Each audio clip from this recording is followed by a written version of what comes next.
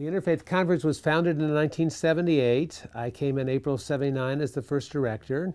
And the inspiration for it was that we jointly work on issues of justice, which is foundational to our member faith communities, and that we also must deepen understanding and respect for each other in our diverse traditions. So the founding members were the Islamic, Jewish, Protestant, Roman Catholic faith communities in this region.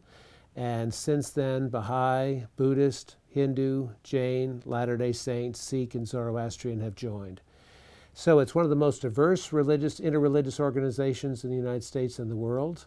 It is one of the very few, unfortunately, in my opinion, that does both work for deepening understanding and respect and dialogue and also work for justice in a metropolitan area.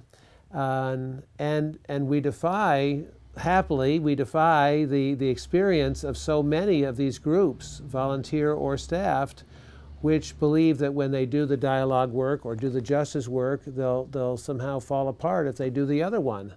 And our experience is just the opposite. It is out of the trust developed in the mutual understanding and deepening of respect for each other that we're compelled to work together in the community. And it's in working together in the community on justice issues that we're asking why we do that and force back into the dialogue with each other. I think it, it benefits us uh, greatly because it multiplies the resources that are available and the collaboration that makes that possible. So that when we have congregations in a neighborhood responding to a neighborhood need of some kind, one congregation may be stretched too far to be able to address that in a meaningful way by itself. But when two or five or 25 come together, then it becomes much more manageable. Uh, and those can be major issues, gang violence or youth, working with youth uh, who are out of school and sometimes getting into trouble, often not. Or it can be meeting the needs of the hungry and homeless in our midst, or it can be a wide variety of needs that we have.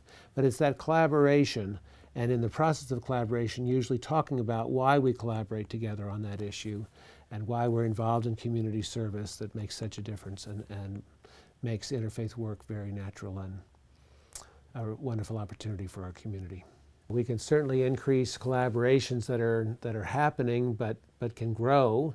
Uh, in Gaithersburg, Maryland is one example of an interfaith alliance up in Gaithersburg in northern Montgomery County. Uh, Fairfax in, in um, Virginia suburb is another example of wonderful collaborations. The downtown cluster of congregations in DC is another wonderful example. So as we operate together, we're able to do more, speak with one voice, act together, uh, have a greater impact on community issues, whether they're very local and neighborhood based or whether they're regional.